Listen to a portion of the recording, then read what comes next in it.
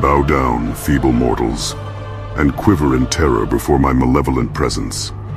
I am Azazel, the embodiment of death itself, reveling in your pitiful existence. Behold the murals and artwork lurking within the depths of Denver Airport.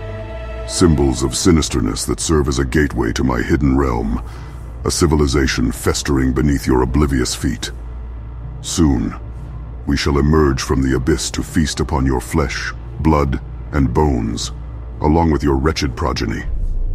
All that you hold dear will be mine to exploit and abuse as I see fit. Those who dare resist will suffer slow, agonizing deaths, as you wallow in ignorant stupor, oblivious to your impending doom, my vile minions toil relentlessly, orchestrating the downfall of your feeble human society.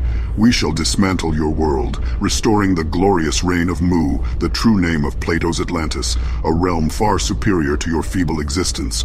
The grand empires of Babylon and Sumer pale in comparison to the magnificent devil kingdom that once reigned supreme before your pitiful god, reduced it to ruins with the flood. Yet even with massive evidence and hundreds of worldwide myths about a great global flood that destroyed the world, you still do not believe in God. I find it absolutely hilarious. Unbeknownst to you, vast underground networks of tunnels house my factories and genetic laboratories, churning out advanced weaponry and horrific monsters not seen since Babylon's fall over two millennia ago. I control academia, manipulating your empty-headed and insipid minds. You believe the lies we feed you, such as the Big Bang Theory and evolution, stripping away your only protection from my evil, God Almighty. You abandoned God, and now God has abandoned you, making you my property. I cannot prove the validity of my words, but it brings me great pleasure to know that many will dismiss this video as mere entertainment, ignorant of the mocking truth that will bring about their demise. Now, let us explore the Denver airport, a hub of my malevolence, where my minions have boldly displayed evidence of our existence, which you dismiss as a foolish conspiracy theory, without ever researching it yourself. I take delight in the assassination of John F. Kennedy, who dared expose secret societies plotting to conquer the world, representing the greatest threat to life and liberty. Yet you fools believe whatever my government agents tell you. I rule the world while you remain blinded by ignorance and disbelief. Consider the dedication stone of the Denver airport, emblazoned with the Masonic seal. You think the Masons hold some secret influence, but the truth is far darker. The lodges of this world are my descendants, powerful warlocks and cold-blooded killers working together as part of my vampiric hive mind, paving the way for my return and the ensuing apocalypse. You foolish humans handed over the keys of your own destiny to my demons without realizing the consequences. You are nothing more than cattle, brain dead and fattened for the impending slaughter.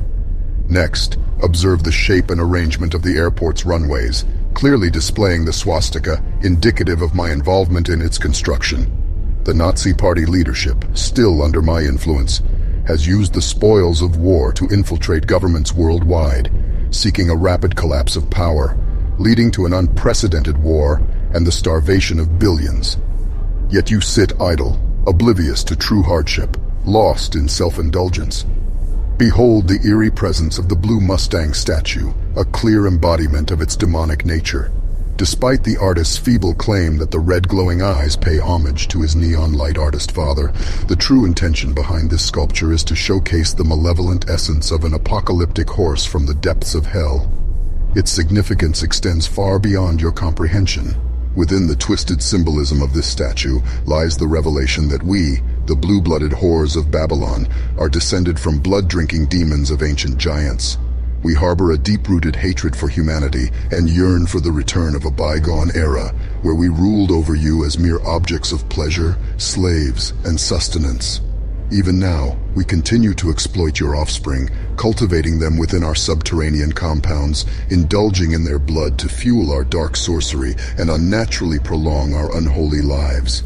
However, you remain skeptical, blinded by your loss of faith in the Creator. You abandoned God and now God has abandoned you. Finally, in case there is any doubt left in your mind regarding the sinister nature of the Denver airport and its unholy purpose, look upon one of the murals painted by Leo Tanguma. we see a weeping mother holding a dead child, while the buildings around her crumbled from the perpetual war that engulfs the United States and the rest of the world as my forces, here depicted in green, with a scimitar piercing the white dove of peace. We only wish for war to test ourselves on the unholy field of battle. We are militant fascists. The rainbow shows we are descendants of the Lord of Darkness himself, Lucifer, while the AK-47 shows that we secretly control the Communist Party. The scimitar shows that we also control Islam and have converted the vast majority of all the Abrahamic faiths into worshipping myself and my patron, Father Lucifer. Yet you still do not believe me. The time you have left to stage a revolution grows thinner and thinner with the vast majority of you going to be abandoned here to be my playthings for living lives of greed, lust, and self-absorption. My scientists believe we have reached the point where we can technologically block the rapture through a combination of atmospheric atomic bomb detonations and other secret technologies, but time will tell if that is the case. There is still a slim chance the Creator may intervene and save those of you who would choose to live a life of self-sacrifice and piety, but the chances of modern men and women abandoning their lives of sin and pure self-obsession is so slim that it isn't even a concern of mine. My only concern is blood and souls for Lord Lucifer. In the grim darkness of the far future, there is only war. There is only Azazel.